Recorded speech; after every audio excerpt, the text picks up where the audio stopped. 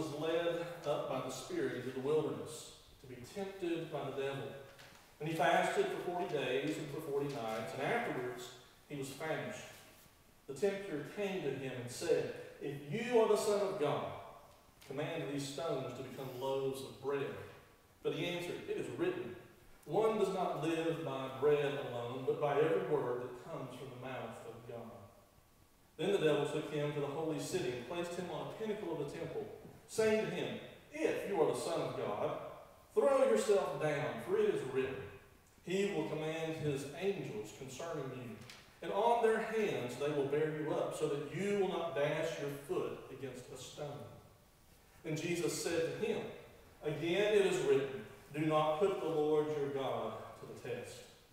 Again the devil took him to a very high mountain and showed him all the kingdoms of the world and their splendor. And he said to him, All these I will give to you if you will fall down and worship me. And Jesus said to him, Away with you, Satan, for it is written, Worship the Lord your God and serve him only. Then the devil left him, and suddenly angels came and waited on him. This is the word of God for us, children of God. Thanks be to God. Amen. You may be seated.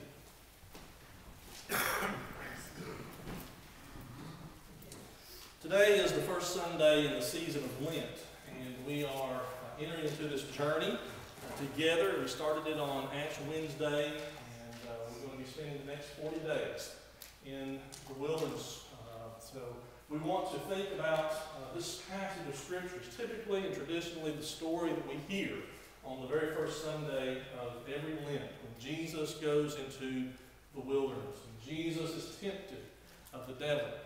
And this week, as I was preparing for this message, I met with uh, a couple of folks from Carter Station for the class that I'm taking on collaborative preaching. And we looked at these scriptures and we talked about these scriptures.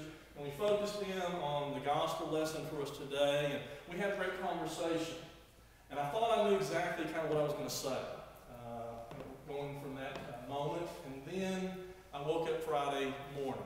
Jan was getting ready for school, she woke me up, the TV was on, and she says, look at what's going on in Japan. And uh, I began to watch uh, the events unfold and what was taking place in Japan. She went off to school on Friday, and I stayed at the house and watched and saw uh, the predictions and the anticipation, the anxieties that were coming, the fear that was uh, being built up for Hawaii and for the West Coast. Everybody was scared. What was going to happen? What was going to people are asleep. Well, they know what's going on. My roommate is from San Francisco, so I had a special investment uh, in what was going on. I got on the phone and I began to call him because I knew he was an hour behind us in Nashville. He was probably asleep and unaware of what was going on as well. I got his answer machine, left him a voicemail message, and um, I let him know, you know, if you got friends out there, you know, give them a call and have them wake up and tune in to see what's going on. Then about 9.30, my phone rang. And Greenville Middle School called me and said, you're going to have to come and pick up Janet. She's sick, she's thrown up, she's weak, she can't drive home. I thought, my goodness, isn't it something how the world just seems to change instantly? We go from a, one thing to a problem in just a matter of mere minutes and hours and seconds. And I continued to watch the news. I brought Jana home. We were waiting to take her to the doctor continue to sit there and watch that news. I haven't been able, being on breaks kind of afforded me the luxury of watch a little news. I've been disconnected and not uh, aware of what's going on for a long time. So I was drawn in and captivated. I kept watching the news, kept watching the news. And took her to the hospital on Friday night. She continued to throw up and get sicker and sicker. And uh, took her to the emergency room and pumped in about four bags of IV fluids into her and spent the night in the hospital. And woke up Saturday morning, uh, flipped the news back on while she was rested in the hospital and began to watch it. And all the time I'm thinking about today. I'm thinking about what am I going to talk about? How am I going to work on this? Because I wanted to reflect on these events. This morning we're thinking about the wilderness. And the wilderness is a scary place to be. It's a place where a lot of anxiety lies, a place of uncertainty, a place where life is in danger. And I began to think of how that compared to what was going on as we saw those horrific images of the tsunami in Japan. And I began to think about how terrified the people must be in that region of the world. And as I thought about these questions that become present uh, to Christ as, as Satan is continually hammering him, we talked about uh, in our meeting how Christ's identity was being challenged. Previously, uh, in chapter 3, we see that Jesus has just been baptized by John. And it is right after his baptism, the scripture says, that the Spirit led him into the wilderness to be tempted of the devil. When I read that, I began to think, man, I need to pray the Lord's Prayer a whole lot harder. Lord, lead me not into temptation, but deliver me from evil. Don't make me do what Christ had to do. Deliver me from that temptation. We don't want to go through what Christ went through. We don't want to know the agony that Christ went through. We don't want to know the terror that the people of Japan felt and are continuing to feel this morning. Those temptations that came to Jesus during his wilderness wandering were refuted by Jesus by appealing to the story of his community as they were in the wilderness, wandering with Moses from Egypt to the promised land. While Jesus was in the desert, he responds to Satan with scriptures that come from that very story of the children of Israel being in the desert. It's not a coincidence. Matthew is showing us and recording these stories and painting a picture for you and for me today. As I thought about that, uh, one thing really jumped off of the page. Satan continues to ask him, if you are the Son of God, if you are who you say you are, if you're so great, do this, do that. Show yourself, prove yourself. Matthew starts out with this pattern of temptation for Jesus, and it continues throughout his gospel all the way to the cross. And even on the cross, Matthew reiterates that same temptation that Jesus faced in the wilderness. Do you remember what the people said when Jesus was hanging on the cross? If you're the Son of God, come down off that cross. Prove yourself. Call on your angels. Get out of this mess if you're the Son of God. Our identities continue to be challenged in our lives. And Lent is all about an identity. It's about creating and working on and maintaining and developing our identity as Christians. Historically, Lent was the season of preparation for new converts to the faith to begin to prepare for their Easter baptism, to prepare for their identity into a birth into the church, a birth into new life, of being raised as a new person out of the baptismal waters. As I thought about that, I couldn't help but see those images of the waters rushing in on the coastline. The psalm that we read this morning talked about protection from the waters. Kind of eerie chill bumps to think about these scriptures and what's going on, how it's paralleling what is happening in our time. But when Jesus is tempted in the second temptation, and he responds by saying, It is written, Thou shalt not tempt the Lord your God. He's talking about a very specific incident in the wilderness. When the children of Israel are complaining to Moses and wanting to know, Why have you brought us out here to die? Why have you brought us into this desert to die of thirst? There's no water here, Moses. What are you doing? Why are you calling us out here into this type of a life? Moses is frustrated. And he names that uh, place where they're at, uh, quarreling and bickering. And he ends in Exodus chapter 17, if you want to look at the story. And I think it's in verse number 7, Exodus 17. He named it quarreling because it was at this point where the children of Israel brought up the question Is the Lord God among us or not? Their identity was being challenged. Their faith was at a crossroads. Tragedy puts us in the crosshairs of doubt, fear, and anxiety. And we begin to ask those same questions. If we're honest with ourselves, I'd say all of us have asked those same questions. If you're God, if you're the Lord, if you're the Son of God, why is this happening? What is going on? If, if, if. We're haunted by that little word, if. And it's at times of tragedy, it's at times like these that I need to hear and be reminded of the fact that Christ didn't sidestep the wilderness. That Christ didn't skirt around the cross, but Christ walked through the wilderness for 40 days. Christ hung on the cross until he passed on. He gave his spirit back. Christ endured. Christ persisted. Christ entered into the human condition that we hear about in Genesis.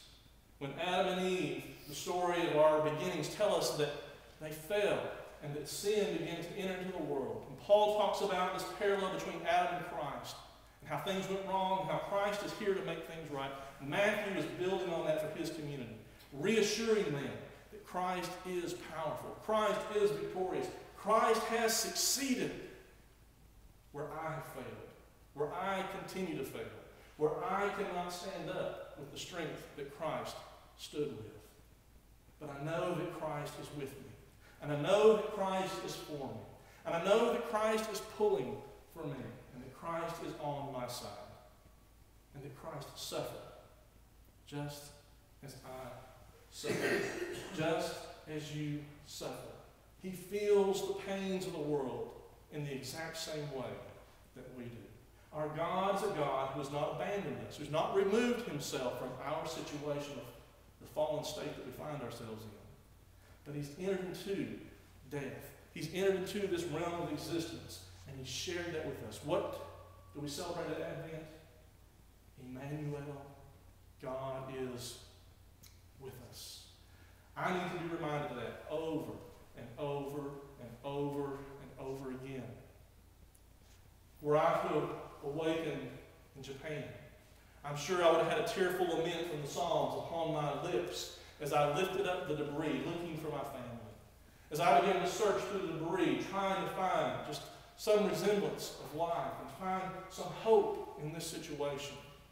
I probably would have been tempted to quarrel as the children of Israel did and ask that very same question Is God among us or not?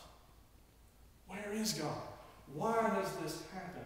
And I need to be reminded that God is here, that God is with us, that God is enduring this together with us. Shirley made an important statement in our meeting that I think kind of helped me solidify the direction that I wanted to go in this morning. She made a statement that said that Lent serves as a reminder that we're a community and that we need each other, that we depend upon each other, and that we influence each other.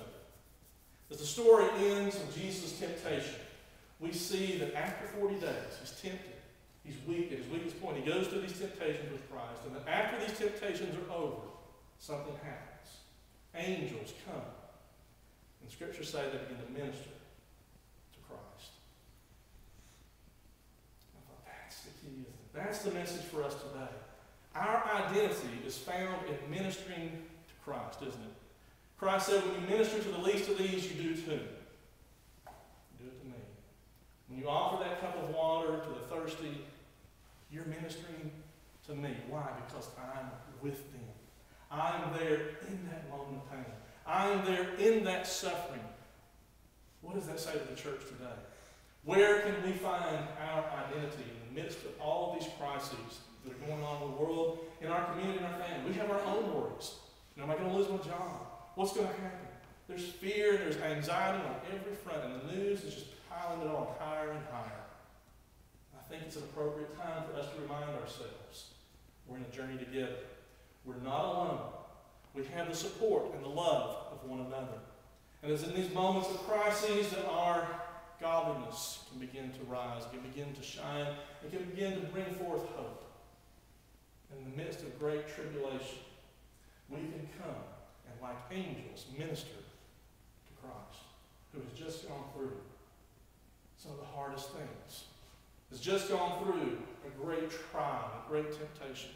We can bring healing and restorative nurture and ministry to those who are in need. So this morning I want to remind you to keep your radar up. As UMCOR begins to share with us how we can respond, Lent is a time of increased alms, a time where we concentrate on the least of these. And we're starting this season off with a picture that is very dismal. Nuclear reactors are going into meltdown. We're seeing just all kinds of horrific events that are beginning to take place. Economies are going to be shaken all across the world. Why? Because we're connected to each other. We depend on each other. And Shirley said, we need each other. So this morning, may our prayers stretch across the Pacific Ocean. May they go to reach and touch a hurting people today. And as we touch them, may we be reminded that in our hurts, in our tragedies, in the dispositions we find ourselves in, we're not alone. We have each other. We have God. We have Christ who has fought the fight and who has triumphed and who is on our side. This morning, as we come to the table, there's a little fountain of water here to remind us of our baptismal vows that we have made. And as you receive the elements after you receive them, I invite you to, to touch the water and to be reminded that you have been baptized.